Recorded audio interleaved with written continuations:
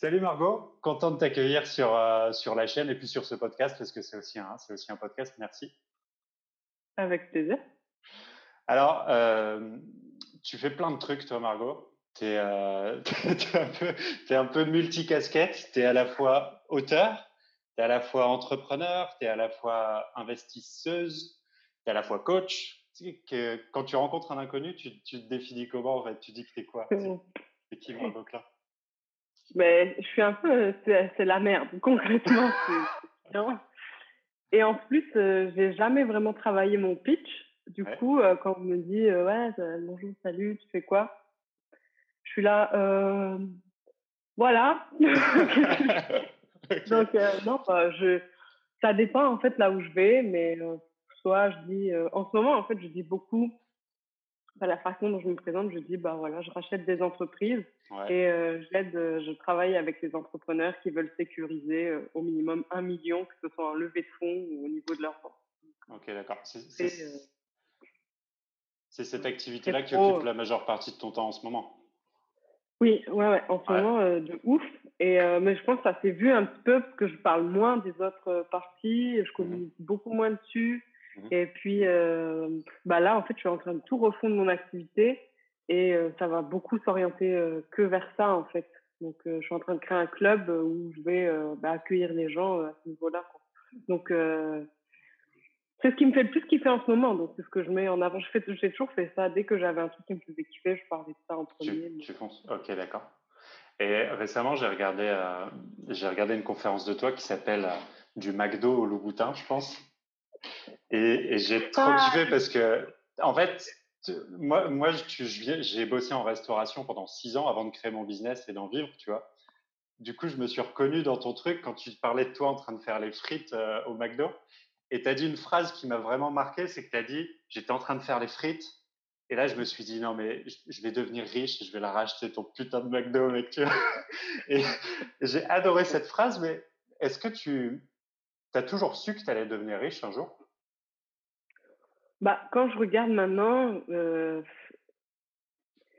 oui, oui, je savais parce que j'avais un peu, euh, comment dire, je savais que j'avais la, la, le feu en moi pour, euh, pour faire ça et pour vivre une vie de ouf, tu vois. Extraordinaire, ouais. Voilà, une vie extraordinaire. Ça, je, je savais quoi. Puis plus j'avançais et plus je savais. Et le McDo, ça a été un gros déclic pour moi parce que c'est, bon, si tu as travaillé dans la restauration, tu sais que c'est très dur. Hein. C'est très dur. Donc, euh, tu es debout. Enfin, moi, les gens qui travaillent dans la restauration, je, je sais, je les, je les admire parce que je sais que c'est trop, trop dur. Ouais, c'est, même si tu aimes ton métier, même si tu as une top équipe, c'est très dur. Du coup, euh, bah, moi, je me suis dit, putain de merde. oh là là. Et c'est ça qui m'a donné encore plus le feu, tu vois, de, de foncer, quoi. Mais comment t'expliques que, tu sais, parce que tous les gens qui bossent au McDo, en resto et tout, enfin, ils aiment pas ce qu'ils font, mais à aucun moment ils se sentent capables de, tu vois, ils, savent qu'il y a des gens qui sont riches et tout, mais ils se disent jamais que ça peut être eux. Comment ça se fait que toi, tu t'es senti capable? Est-ce que tu as, genre, dans ton, dans ton environnement, des gens qui t'ont inspiré, des entrepreneurs ou quoi?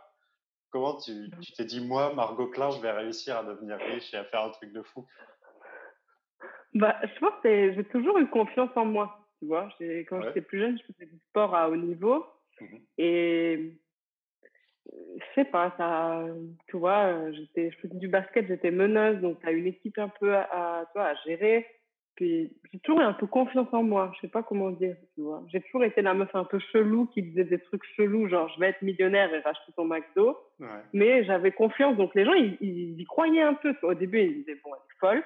Et sais, au bout d'un mois, deux mois, ou peut-être parfois moins, il se disait putain mais elle, va vraiment le faire. Donc j'avais toujours ce truc un peu de confiance en moi. Et sinon euh, pas du tout dans mon environnement hein.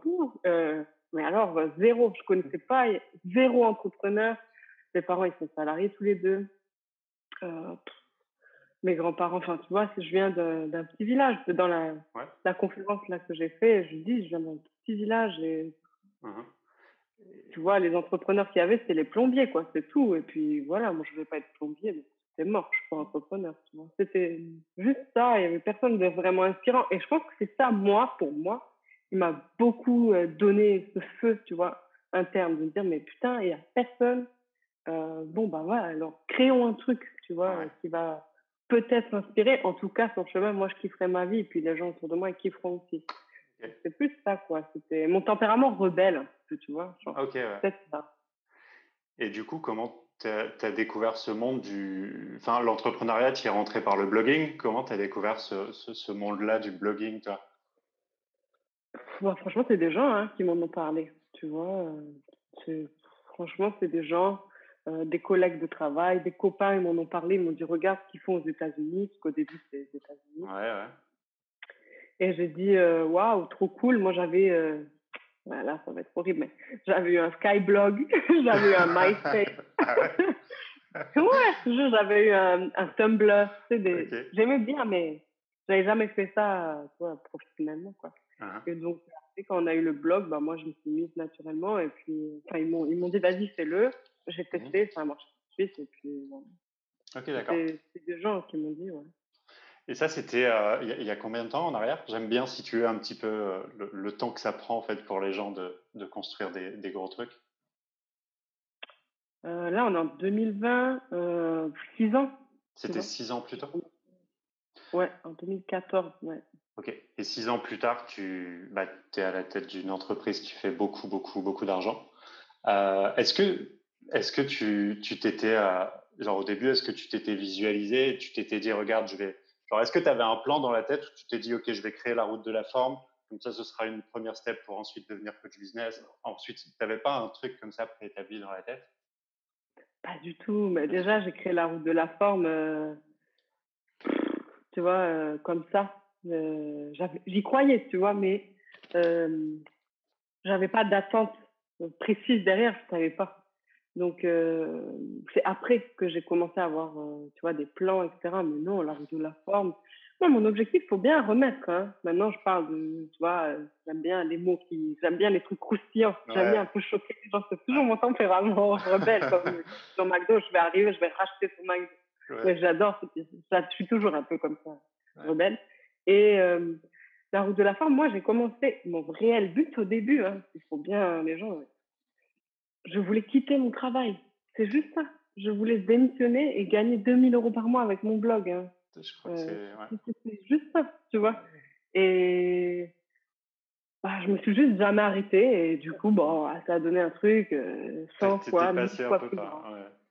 Ok, d'accord. Mais c'était pas prévu du tout. Et puis, euh, euh, déjà, je suis devenue millionnaire. Ça, c'est mon objectif, comment on dit, symbolique, tu vois.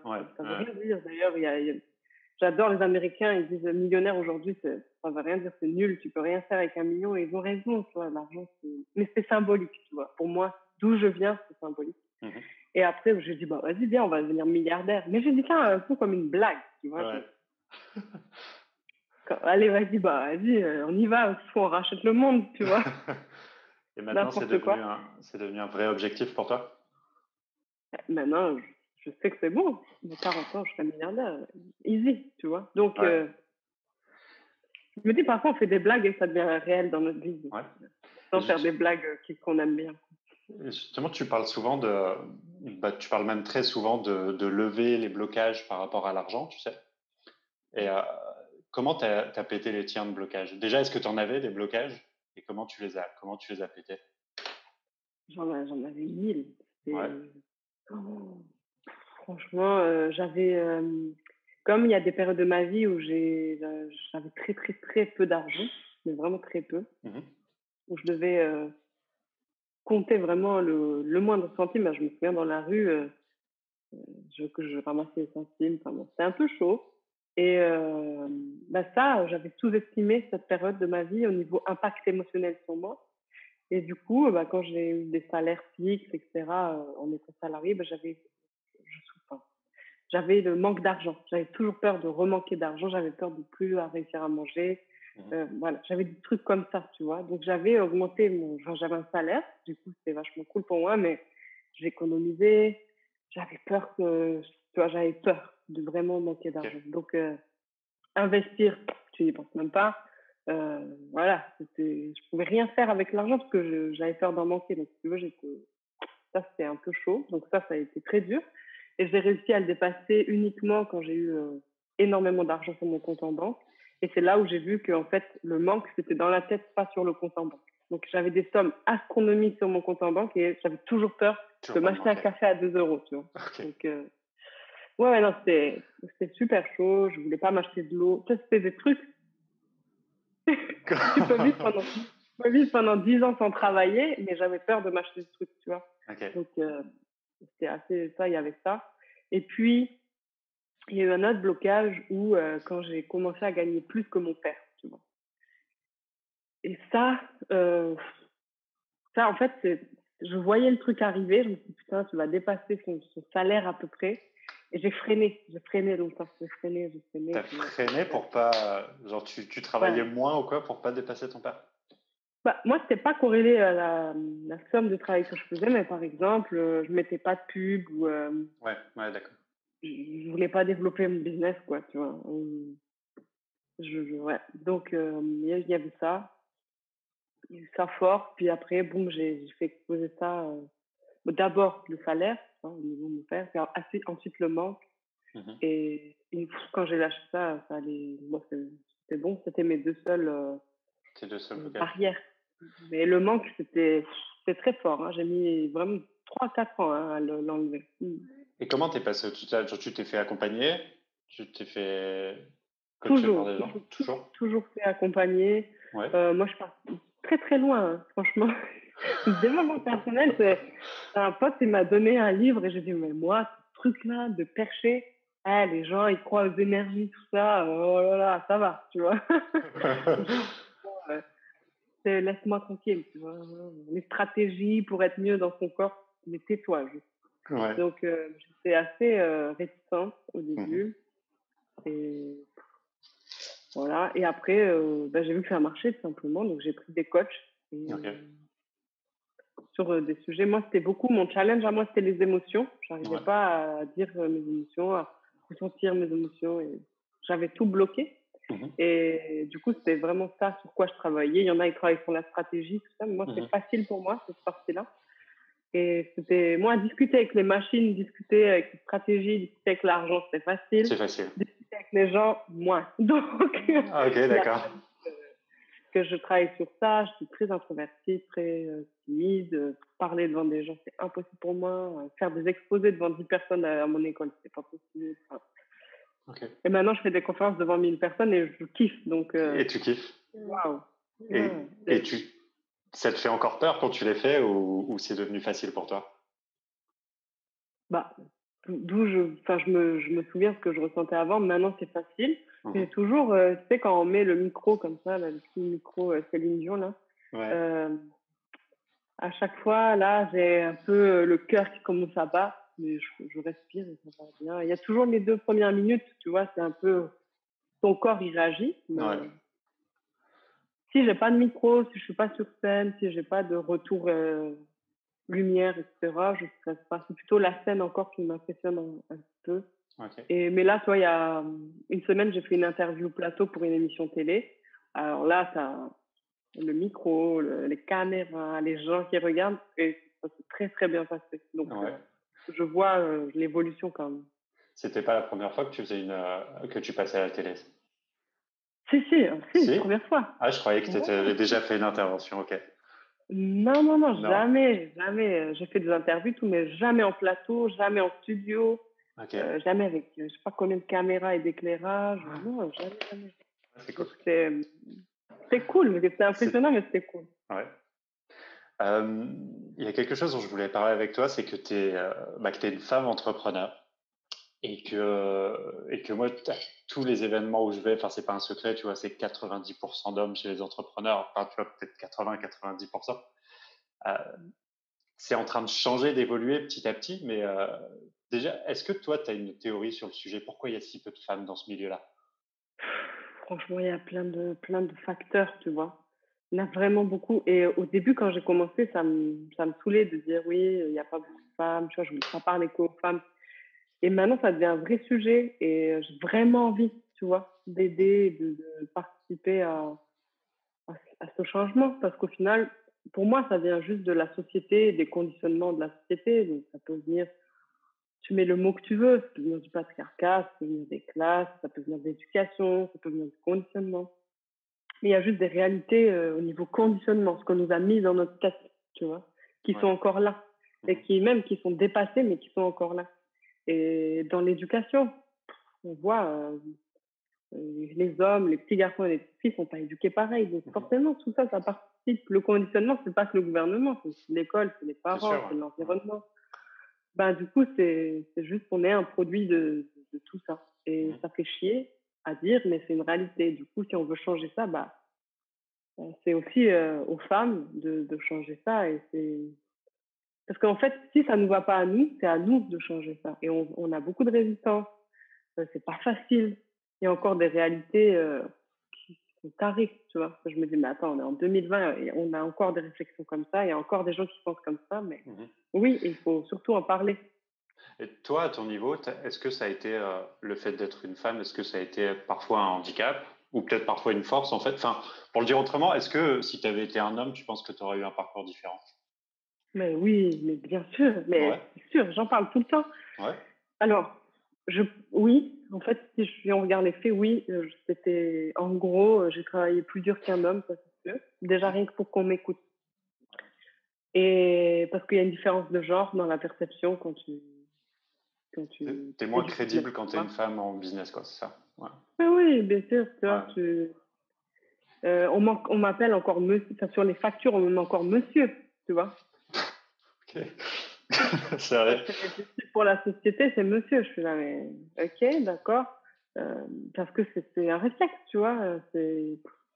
Donc oui, euh, moi j'essaie d'en faire une force et, et une fois que tu as fait tes preuves, mais tu vois, on ne devrait même pas avoir cette discussion. J'ai rien sur le fait qu'on ça, ça, montre qu'il y a un vrai problème. Mmh et bien sûr, il y a des, des femmes, mais c'est beaucoup les femmes, hein, qui m'ont dit, euh, qui m'ont fait comprendre qu'en fait, elles allaient choisir un coach homme parce qu'il allait plus savoir sur le business, qu'il savait mieux gagner de l'argent.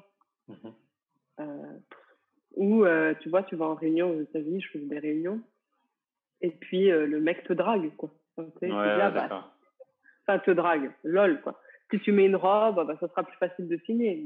Mais, toi, c'est sérieux Tu crois il aurait dit ça un mec euh, Si tu fais voir tes pectoraux, euh, tu vas plus signer. Qu'est-ce qu'il y a tu vois Mais une fois que j'ai passé ça, en fait, tu avais beaucoup plus de respect des gens avec qui je travaillais, aux États-Unis en tout cas. En France, je n'ai jamais ressenti ça, en francophonie, je vais être honnête. Mais euh, aux États-Unis, une fois que j'ai passé tous ces, tous ces non, sexisme, on peut dire. Là, les mecs que j'avais en face, toujours des hommes, toujours, toujours, il y a très peu de femmes. Bah, ils se disaient, OK, elle, si elle est là, elle est jeune, elle est française, enfin, elle n'est pas américaine, en tout cas, peu importe. Elle est jeune, elle n'est pas américaine, c'est une femme. Euh, si elle est en face de moi aujourd'hui, j'ai plutôt intérêt à l'écouter parce que ça a l'air d'y aller, quoi. Donc, c'est avec ce respect et, euh, et après une forme de facilité entre guillemets euh, au-delà, c'est-à-dire il, comme je sortais de la norme, ben, il m'accordait plus d'attention et d'importance. Mais c'est vraiment après, c'est une fois que ça. Ça a pris du temps. Ok, c'est intéressant parce que du coup, ce qui était entre guillemets une faiblesse au début, tu en as fait une force avec le temps, quoi, tu vois. Ouais, mais putain, c'est un genre, quoi. Donc, on te l'assigne à la naissance et euh, putain, alors ça veut dire que si es de genre féminin et que tu veux te genrer au féminin, super, tu pars avec un handicap. Euh, là, tu vois, c'est ça qui, moi, me fait chier aujourd'hui. dire, euh, tu vois Donc, il y en a un, il est avantagé, un qui est désavantagé. Super, je croyais qu'il y avait marqué égalité. Ah bah, en fait, non. pas du tout, tu vois. Liberté, égalité, ah bon, on a, oublié ça, tu vois. Donc, euh, Parce que, est-ce que tu penses que... Ouais, je t'écoute, je t'écoute. Mm-hmm. Non, rien, je réfléchissais juste qu'au début, c'était pas un sujet pour moi et que plus ça va et plus ça commence à, à en être. Et toi, par exemple, dans tes clients, tu as, plus de femmes ou tu as, beaucoup d'hommes aussi qui viennent, qui viennent à toi? Euh, J'ai environ 60% d'hommes, 40% de femmes. Ok, c'est intéressant. Oui, oui. Euh, parce que je parle beaucoup d'argent. Ouais. Euh, ouais, voilà. Puis, euh, je suis un peu. Je, je, parle beaucoup de sujets qui dérangent. Donc, ouais. ça, plaît plus. Généralement, mais ça serait équilibre, franchement. C'est euh, ouais, 60-40, tu vois, c'est quasi égal. Mais c'est Jérémy qui parlait de ça justement récemment, tu sais, des énergies euh, masculines et, féminines. Mais du coup, il y a quand même. C'est vrai que, par exemple, l'argent, c'est un truc qui va plus correspondre à l'énergie masculine que féminine. peut-être que l'entrepreneuriat, finalement, c'est c'est pas fait pour les femmes qui, ont peu d'énergie masculine. Enfin, je sais pas ce que tu penses de ça. Bah, pour moi, on a tous une énergie yang, un principe euh, masculin, un principe féminin, tu vois. Mmh. Euh, après, tu as une, une, énergie de base, mmh. énergie originelle, tu appelles ça comme tu veux. Et c'est pas parce que tu es euh, de sexe féminin et de genre féminin que ton énergie est forcément yin à l'origine. Tu peux avoir exploré l'énergie de principe yang à l'origine. Mmh. Mais on a les deux. Donc c'est vrai qu'il y en a une qu'on va sur développer, sur incarner au tout des, enfin, naturellement après, c'est une blessure, Enfin, tu vois, il y a plusieurs choses, mais, mais on a les deux. Après, c'est à nous de les développer, hein, tu vois. Et puis, de s'entourer de gens qui nous aident à ça. Mais c'est vrai que dans le business, ben, moi, j'utilise les deux. J'utilise euh, le principe Yang, puis aussi le principe Yin. En fait, si tu n'as pas les deux, bah, typiquement en coaching, il faut aussi du, du principe Yin. Hein. Si tu vas que en force, etc., ton client, tu vas le casser. Mais euh, pour moi, dans le business, il y a les deux. Parce que le Yang, c'est plus celui qui va, qui va donner, qui va être dans le, communique, je communique, je communique, je fais des mmh. conférences. Mmh. Puis l'énergie plutôt yin, c'est plutôt l'énergie de réception pour moi. Du coup, si tu, tu peux euh, communiquer, etc., mais que tu n'as pas ouvert le canal réception de l'argent, tu peux te montrer, tu peux faire ce que tu veux. Si tu n'es pas dans ton yin, au bout d'un moment, tu ne recevras rien du tout. Donc c'est plutôt donner, recevoir. Pour moi, il y a les deux. Et dans le business, on a surexposé, surexploité le yang. Mais pas du tout, euh, on montre pas euh, le yin. Et c'est le problème de beaucoup de, de personnalités bah, de femmes qui sont, qui sont dans l'excès de yang, qui vont un peu caricaturer euh, tu vois, le, yang et qui ont voulu réussir comme les hommes. Ouais. Avec que cet exemple et qui ont oublié de, de développer leur, leur mmh. Mais homme ou femme, c'est peu importe en fait. Hein. C'est juste ces deux énergies qu'on doit intégrer en nous et pour vraiment euh, se sentir bien et exposer dans le business. Et pour moi, il y a les deux. Et c'est vrai qu'on on est tout le temps dans le yang en business. Hein. Je sais pas si tu regardes un peu les trucs américains, style mmh. Grande Cardone, mais toujours. Mmh. Ouais, ouais, carrément. Surtout Grande Cardone, c'est vraiment euh, très, très dans le yang pour le coup. Ouais. Donc, bah euh, mais si tu mets du yin, mais il est forcément dans le yin aussi, c'est juste qu'il ne le montre pas. Attention, mmh. parce que s'il a autant d'argent, il a réceptionné au bout d'un moment. Tu vois Hein? Il, est, il est dans l'in, c'est juste qu'il le montre pas. Donc rien que ça, tu es dans l'in mais tu le montres pas, c'est très, euh, ça montre un petit peu l'entrepreneuriat qu'on veut montrer aujourd'hui, tu vois, qui fait vendre, qui fait... Ah, bien sûr.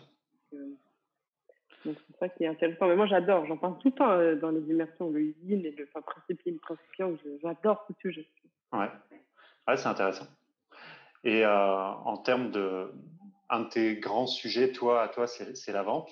En parles, euh, tu parles très souvent de vente. Enfin, il y a même des vidéos où tu dis, des vidéos où tu dis que la, vente, c'est la compétence première d'un entrepreneur. Je, je, suis très d'accord avec ça, évidemment. Euh, toi, c'est quelque chose qui fait partie de ta nature à la base de savoir vendre ou c'est quelque chose que tu as appris? Genre, t'es pas une bonne vendeuse à la base? Mais pas du tout. Moi, j'ai pas un lettre, un, bac lettres et art. Donc, euh, ah ouais? c'est quand même, ouais, quand tu fais art, on te dit, il y a quand même des trucs si tu vends ton art de ton vivant, c'est un vendu. Tu vois, il faut surtout pas, t'es pas un vrai artiste. Exactement, ouais. À l'époque, tu vois, maintenant ça a changé. Donc on t'apprend surtout pas à vendre, on t'apprend à créer, mais pas du tout à vendre. Du coup, euh, j'ai fait des études plutôt littéraires, hein, donc euh, jamais, aussi, jamais en euh, Ouais, je comprends. Et je me suis jamais formée à la vente, donc. moi, je dis, je suis une super mauvaise vendeuse, mais une très bonne humaine. Donc, j'écoute les gens, et je parle avec eux. Et bah, forcément, euh, quand tu es authentique et tu les écoutes sincèrement, mmh bah, euh, après, ils te demandent euh, qu'est-ce que tu vends. Tu vois, ils te, ils te, demandent, quand tu as apporté beaucoup de valeur à quelqu'un, il va, il va vouloir te redonner en échange. Hein. Là, je, je disais, j'avais fait une espèce de petit jeu concours, un offre concours où je disais, tu achètes 5 exemplaires de mon livre et je t'offre un coaching de 20 minutes. Ouais, j'ai vu. J'ai fait ça. Et je peux toujours encore en faire parce qu'il y a beaucoup de gens qui ont profité de ça. Du coup, euh, bah, les gens, je leur donne 20 minutes que de valeur, que de valeur, que de valeur. Et tellement, tous les gens quasiment, disons 90% des gens, me demandent à la fin euh, comment, euh, enfin, qu'est-ce que tu vends? J'aimerais bien faire ton produit. J'aimerais bien bosser avec ouais. Mais ouais. Du coup, j'ai rien vendu. J'ai fait que faire ce que j'aimais. Et eux, derrière, ils disent Waouh, si en 20 minutes, elle a fait ça, ok, je travaille avec elle direct. Ouais. C'est ce que tu fais de toute façon dans tes, Genre, tu as des appels stratégiques de 30 ou 45 minutes euh, gratos. Tu te donnes de la valeur à fond dans ces appels-là? Tout le temps. Je ne te vends jamais de trucs. J'ai pas de script de vente où tu sais. Euh, ok. Je sais pas quoi, là, les étapes. Salut, alors euh, raconte-moi tout. Ah ouais, ok, bah, tu devrais faire ça. Moi, je sais plus, tu vois. Ok, ah, j'ai ça. Et est-ce que tu as réfléchi à ça tu vois? Uh-huh. On discute pendant 30. Ça dépend hein, des gens. Parfois, c'est 15 minutes, parfois, c'est 30. Ouais. Et voilà, tu vois. Et tu laisses les gens. C'est les gens qui viennent à toi. D'accord. Ouais. Et, mais maintenant, j'en fais quasi plus. Mais tout que j'ai fermé, mais ouais, ça a fonctionné comme ça, tu vois. Et, je kiffais trop, en fait, parler avec les gens. Moi, j'adore parler avec les gens. Donc, euh, que tu achètes ou que tu n'achètes pas, euh, c'est idem pour moi. Après, il y a une réalité marché, tu vois. Euh, oui, je veux faire des ventes, mmh. mais aux bonnes personnes, aux bons clients. J'ai des tarifs élevés pour la majorité des gens. Pour les entreprises, c'est rien, mais pour les particuliers, c'est toujours des sommes qui sont folles. Mmh et finalement, euh, tu vois, je n'ai pas envie de travailler avec tout le monde, quoi. Je veux travailler avec les gens qui sont vraiment motivés. Donc, ça fait le tri. Le prix fait beaucoup le tri pour moi. Et les gens qui m'appellent, ils sont vraiment chauds, tu vois. Ouais, ouais d'accord. Euh, je voulais parler aussi de, de ton bouquin. Yes. Euh, alors, j'ai très mal fait mon travail d'intervieweur parce que je ne l'ai pas lu. mais, à, ma, décharge, tu t'es accepté super vite et ça s'est fait assez rapidement cette interview et j'ai pas eu le temps de, de, de, me le procurer. En plus, je suis en Asie, j'imagine que tu livres, enfin, je sais pas si tu livres en Asie. Enfin, ouais. Euh, bah, Amazon est en rupture là, donc ouais. mon éditeur, ils sont en train de réimprimer le livre. Donc, tu vois, même si tu avais commandé, tu l'as, euh, mi-mars maintenant. Ouais. Mais en tout cas, j'ai regardé vite fait les... sur Amazon. Putain, tu as déjà as bientôt 100, 100 commentaires. Oui. Et, ce qui m'a fait halluciner, au-delà des 100 commentaires, c'est que c'est que des. Déjà, c'est que des 5 étoiles, mais en plus, tu lis les messages, c'est un truc de fou. Genre, c'est. Les gens sens quoi, tu vois. C'est vraiment. Euh... Ouais, j'étais choquée. je, suis contente. Franchement, quand je les lis, tu vois, je suis là, mais j'ai vraiment écrit ce livre ou. tu vois? Et je suis trop contente, franchement. J'avais, un de mes rêves d'écrire euh, un livre et de le faire publier. C'est super important pour moi d'avoir un éditeur qui le distribue à la FNAC, Culture uh -huh. dans les librairies et sur Amazon également.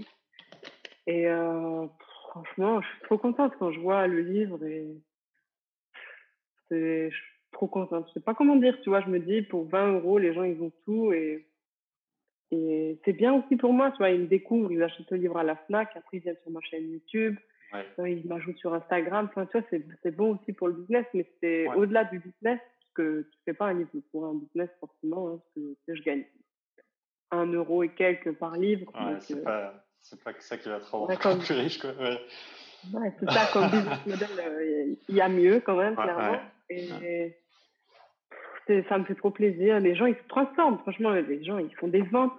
Genre, ils transforment leur vie, créent leur business de leur rêve. Et moi, je suis trop contente. Et au-delà de ça, ils ont, ils ont compris le réel message derrière le livre. J'avais peur qu'ils s'arrêtent que à l'argent, que au business, tu vois. Mmh. C'est pour ça que j'ai fait la troisième partie où je parle de l'ego, je parle un peu des énergies, etc. Mmh. Et, et, les gens, ils ont vraiment compris ce message, tu vois. Ils ont vraiment compris que la richesse s'appelle Bonjour Richesse. Donc, je me suis dit, c'est un livre un peu comme d'hab, hein, comme moi, provocateur. Un peu provocateur, ouais. Là, léger, quoi. du coup, je me suis dit, ils peuvent s'arrêter que à l'argent, que à la richesse matérielle. Et non, ils ont vraiment compris le message et bon, je suis trop contente.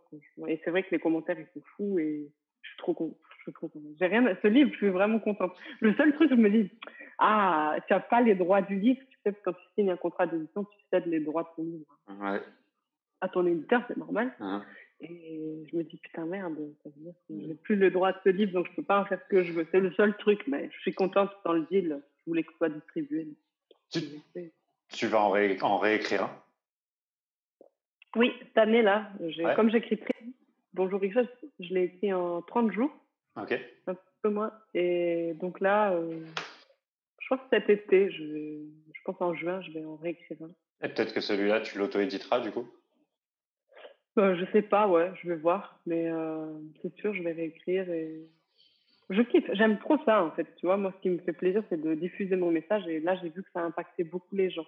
Ouais. Donc, euh, je vais continuer. Puis j'aime ça, donc autant faire. Ok, super. Euh, tu parles aussi souvent du concept de, de super pouvoir, tu sais. Et, et c'est. protéger, parce que tout le monde l'utilise maintenant. Je vois les gens. Bah, tu aurais dû le protéger. Franchement, tu aurais dû. Ah, mais ça y est, je vais protéger, mais je vais envoyer trop de lettres d'avocat après. Euh. mais ce qui me fait halluciner aussi, c'est que je, quand enfin, je rencontre des gens qui t'ont déjà rencontré, etc.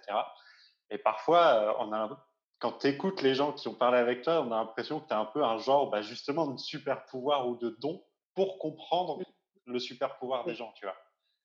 Oui, bah, c'est mon super, mon super pouvoir à moi, c'est ça, c'est de comprendre euh, les systèmes de chacun, les mmh systèmes en général, mais aussi les systèmes de chaque être humain.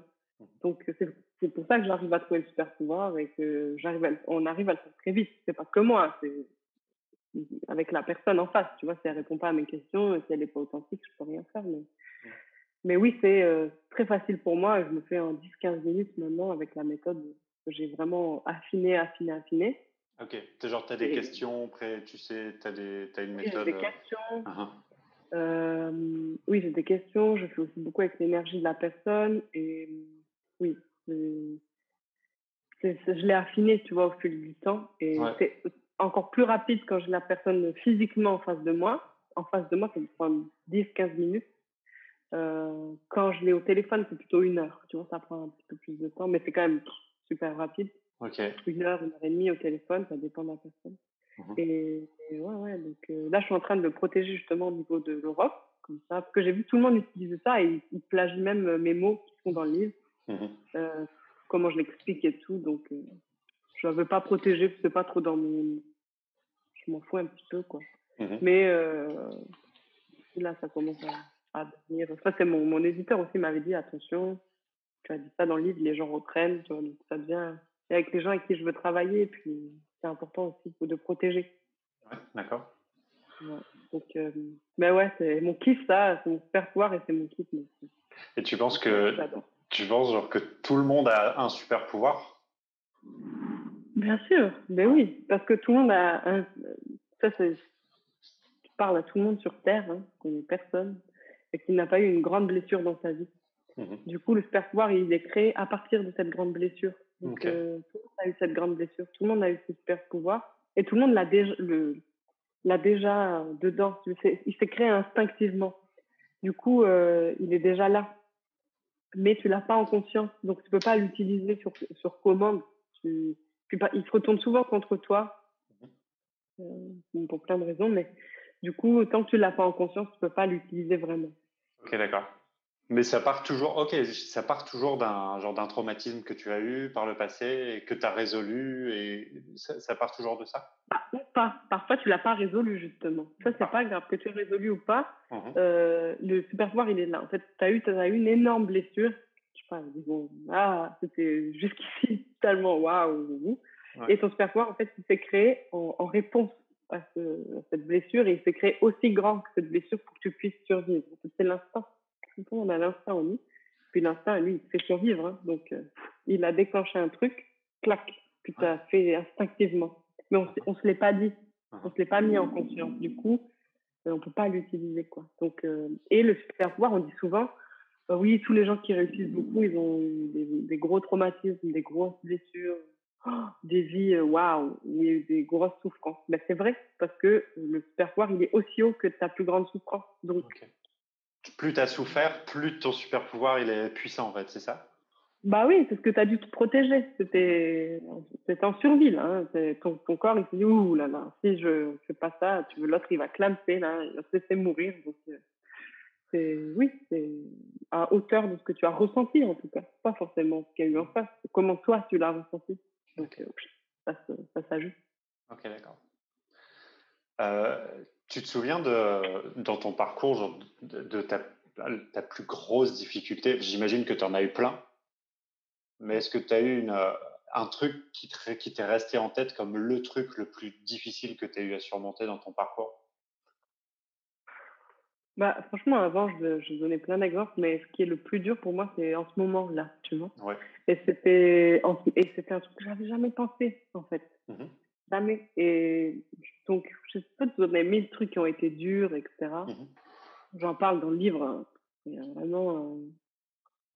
beaucoup de choses j'ai failli abandonner, etc. Mais bon, alors c'est peut-être, je te dire là, c'est le plus dur, c'est peut-être ce que je vis en ce moment, tu vois. Peut-être après, dans deux mois, je te dirai, oh, finalement, ça va. Mais pour moi, c'est en ce moment, c'est le plus dur parce que les gens, ils te voient comme une entrepreneur qui a de l'argent, comme un humain qui a de l'argent. Mmh Et euh, c'est ça le plus dur parce que, en fait, sur ton chemin, il y a des gens qui veulent prendre, prendre, prendre et qui t'ont collé sur la tête comme ça, tout seul, tu n'as rien fait. L'étiquette de je sais pas quoi, multimillionnaire euh, qui dépense son argent. Donc, en fait, là, le, pour moi, le plus dur, c'est l'environnement, le, les gens, tu vois, où je dois m'associer sur des gros deals, je dois travailler, créer vraiment des choses qui sont avec un bon impact. Mmh et euh, bah, les gens qui sont soi-disant, qui disent être le mieux intentionnés, bah, c'est les pires. Donc ça, en ce moment, c'est le prix des gens, tu vois. Et c'est ça le plus... En, tout cas, un, des plus grands challenges parce que j'avais jamais soupçonné que une fois que c'était naïf, hein, certainement de ma part, mais une fois que tu as de l'argent, que tu as, fait des mini-trucs, tu vois, parce que je ne sais pas avoir fait non plus un truc exceptionnel, mais c'est vrai que j'ai beaucoup évolué, que par rapport d'où je viens, j'ai fait des trucs waouh par rapport à d'où je viens. Mmh. Il y a des gens qui veulent euh, casser ça, tout simplement, juste pour pas que tu ailles plus haut que eux. Ouais, chacun, ça leur appartient, tu vois, mais c'est ça pour moi le plus dur, c'est les gens. Ouais. en ce moment, là, c'est les gens qui veulent te voir échouer, qui vont mentir pour euh, simplement, je sais pas pourquoi. Donc, euh, c'est ça en ce moment, et ça m'apprend beaucoup. Franchement, c'est le plus dur, mais c'est là où j'apprends le plus. Je n'ai mmh jamais autant appris. Et pour moi, c'est ça, tu vois. C'est vraiment. Euh, et même dans mon parcours, hein, ça a été choisir les bonnes personnes avec qui s'associer, mmh euh, se séparer aussi des personnes. Et pour moi, c'est très dur. il y a beaucoup d'entrepreneurs qui, et même d'humains, hein, qui font pas du tout attention à leur environnement. Ils font pas attention à qui ils écoutent. Ils font pas du tout attention à qui ils s'associent. Parce que euh, qui tu écoutes et avec qui tu t'associes, c'est comme ça que tu vas devenir. Donc, tu, tu, si tu écoutes la vie de quelqu'un, tu vas avoir sa vie. Hein. Mmh donc, et c'est ça qui est, qui est, le plus challengeant parce qu'il faut dépasser beaucoup de choses, tu vois. Il ne faut pas avoir peur d'être seul à un moment donné, tu vois. En tout cas, l'illusion, c'est pas. Mais quand on regarde les présidents, quand on regarde Trump, etc. Trump, hein, on peut le critiquer, mais le gars, il est détesté de la terre entière. Hein. il n'y a pas une personne sur terre qui va dire oh, Trump, c'est génial. il y en a très peu. Et pourtant, il fait des gros changements pour les États-Unis. Donc, euh, Puis ça l'empêche pas de dormir, je pense. Peut-être, on ne sait pas, hein, tu vois, mais en tout cas, il continue son truc et, et voilà, en fait. Donc, euh, et lui, je trouve que c'est, tu vois, il a des problèmes qu'on ne peut même pas imaginer. Donc, plus tu grandis, plus tu as des challenges et plus il y a des choses un peu dures, tu vois, qui arrivent, mais mmh. c'est excitant d'un côté aussi, tu vois, sinon on serait chier dans la vie. Hein. Ouais, bien sûr. Bah toi, justement, c'est quoi aujourd'hui qui te, qui, qui t'excite, enfin, qui te pousse à aller plus loin, tu vois? Oh, bah, c'est m'amuser tout le temps. Ça t'éclate ce que tu fais, ouais. C'est... Puis c'est chercher ce qui m'amuse et puis c'est évoluer tout le temps. Euh, moi maintenant, je sais, j'ai plus besoin de travailler. Donc si je suis pas branchée sur mon envie, si je suis pas branchée sur ce qui m'éclate. Euh, mais juste, ouais, justement, tu n'as plus besoin de travailler. Donc quand tu te réveilles le matin, c'est quoi qui te dit pas je vais bosser alors que tu pourrais très bien euh, bah, tout arrêter, quoi, tu vois. Ouais, ouais, bah, je sais ça. Hein. Il y a eu une période où euh, tu es obligé de te détacher complètement de l'argent. C'est pour ça qu'on dit souvent euh, les milliardaires ou les gens les plus riches s'en foutent de l'argent. C'est un peu extrême, tu vois, mais c'est vrai, ils se sont détachés de l'argent parce qu'au bout d'un moment, tu n'en as plus besoin. Tu vois, tu n'as pas besoin de 100 millions pour toi. Hein, je veux dire, au bout d'un moment, c'est clair. Donc, euh, c'est bon, moi, ce qui m'excite, c'est me lever et puis créer ce que moi j'ai envie de créer et diffuser le message que j'ai envie de diffuser, tu vois.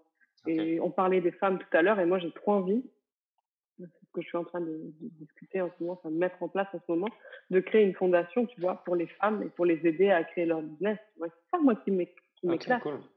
Je, suis en train de créer un club privé pour les entrepreneurs, donc euh, j'ai envie de créer vraiment un cercle d'entrepreneurs qui ont une vision aussi grande que la mienne, euh, avec qui on va vraiment créer des grandes choses au niveau argent et aussi au mmh niveau impact, tu vois. Mmh et bon, c'est juste ça, quoi. Donc, euh, mais que pour les femmes, du coup? Ou... Non, alors le club, c'est pour les entrepreneurs. Okay. La fondation que je veux mhm. faire, tu vois. Et puis j'ai aussi. Le club, c'est business. C'est dans mon business, je en parlerai bientôt. Je l'ai appelé Client Club. Donc c'est vraiment business. C'est comme sur les clubs américains, tu vois. Aux États-Unis, il y a beaucoup de, clubs comme ça. C'est des clubs très secret, non, parce que tu les connais, mais très fermés. Très fermés, Et euh, bah, c'est en fonction des affinités, tu vois. Il va y avoir un club avec que des médecins, par exemple, ou que des avocats. C'est par, euh, par type d'activité.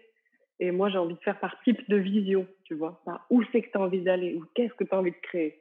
Et moi, j'ai remarqué que j'avais une, vision qui était particulière, tu vois, et qui, qui choque parfois. Et ben, j'ai envie de gens comme ça, avec des visions qui choquent, tu vois. avec des visions qui sont euh, tellement folles que tu les prends pour des malades, tu vois. Ben, j'ai envie de créer un club pour ces gens-là et qu'on aille euh, loin ensemble, tu vois. Donc, c'est juste, euh, je me dis, putain, t'imagines, tu crées ça. Waouh, qu'est-ce qui va se passer? Tu mets tous ces entrepreneurs ensemble qui créent Uh-huh. Très haut, qu'est-ce que ça va donner? Moi, je veux juste voir ce que ça va donner, tu vois. Ok. Mais tu veux, quand tu parles d'entrepreneur, là, c'est pas que c'est pas que du web. Tu parles de gros, des grosses ah boîtes. Ouais.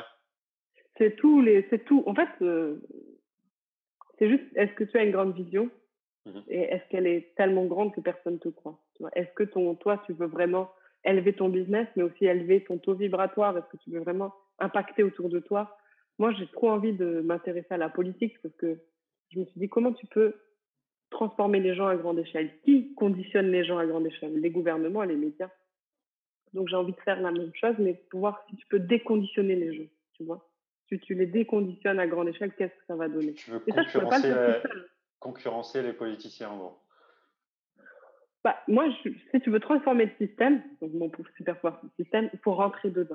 Ah. Donc, si tu n'es pas dans le système, tu ne vas jamais le changer. Hein, tu vois, euh, Ou créer un système alternatif, quoi, tu vois? Mais même pas, parce que tu peux créer un système alternatif, mais il y a toujours notre système en face. Donc, c'est quoi? Tu, tu, te bats comme ça, tu fais la guerre. C'est ce qu'on voit aujourd'hui. Les pays, pourquoi ils s'affrontent Ah, mon système, il est mieux. Ah, non, c'est mieux. Ah, on fait la guerre. Super, cool. Mhm. Euh, moi, j'ai pas envie de faire la guerre, pas du tout ça. Donc, moi, ce que je veux, c'est infiltrer un système existant puis le transformer de l'intérieur, tu vois? C'est ça, donc, je veux. Et j'arriverai pas toute seule, j'ai pas envie de le faire toute seule, c'est beaucoup plus drôle de le faire à plusieurs. Et le club, bah, pour moi, c'est ça. C'est euh, qui crée la valeur aujourd'hui? C'est les entrepreneurs, hein. c'est les entreprises, c'est tout. Donc si c'est eux qui créent la valeur, bah, ensemble, on peut créer de la valeur en plus grande échelle. Et c'est pour ça que je crée le club et c'est ça qui m'anime le matin en me levant. J'ai envie de voir est-ce que ça marche à grande échelle de transformer les gens. Et vas-y, euh, je dis on y va, on va voir. Si ça marche, bah, tant mieux. Si ça marche pas, tant mieux aussi. Mais j'aurais essayé. Tu vois. Et tu, tu, tu, tu, te vois où dans, dans 10 ans? Oh, Dans 10 ans, j'aurai 40 ans. 30 ans? Euh... Ouais, j'ai 30 ans, ouais. Ah, ok, je croyais que tu avais 31. Ok. Ouais. Je, je les ai fait en août. Et ah. Hum, déjà, je t'ai dit, je serais milliardaire sûr. Et je serais déjà dans la politique, tu vois. Je sais pas si je, je serais visible en politique, en mode président ou quoi que ce soit, mais je sais que j'aurais déjà créé des. Comment on dit, tu vois, je serais déjà en politique et je transformerais déjà des pays.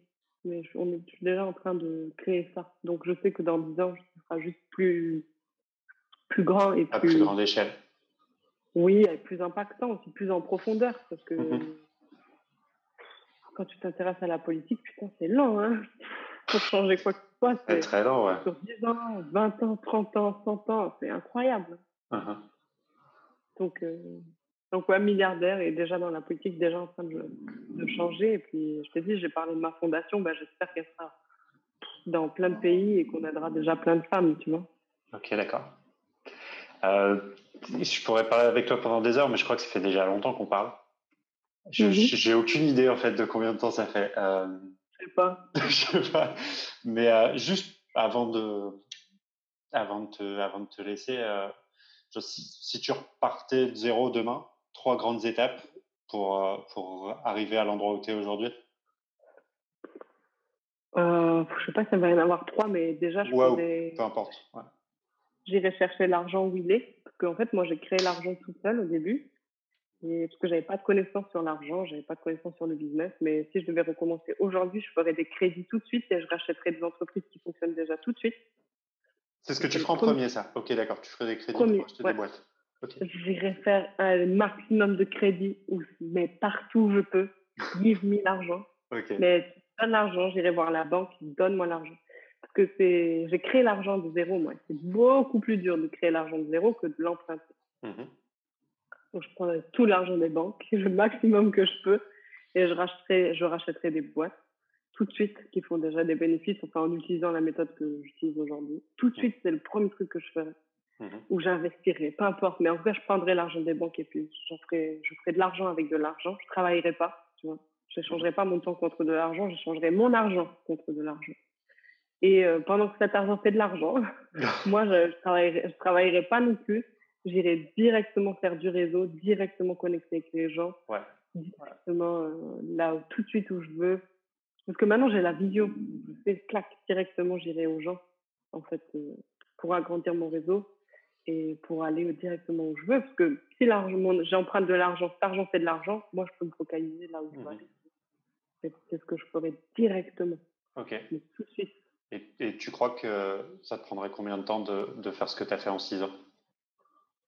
Ah, avec les connaissances que j'ai maintenant? euh, Un an, tout de suite. T'es sérieuse? Genre, t'arriverais à, à, être là où t'es en un an? Mais bien sûr, c'est pas linéaire. J'ai mis, euh, j'ai mis 3 ans à faire 100 000 euros. Ouais. Imagine, déjà 3 ans à faire 100 000 euros. Les 3 dernières années, j'ai fait plus qu'en 3 ans. En un an. Tu as mis trois ans pour faire 100 cas de CA, c'est ça? Ouais. Euh, oui, 100 cas de bénéfices. de, de bénéfices. pour moi. Ouais. 100 cas pour moi, j'ai mis trois ans. Ouais.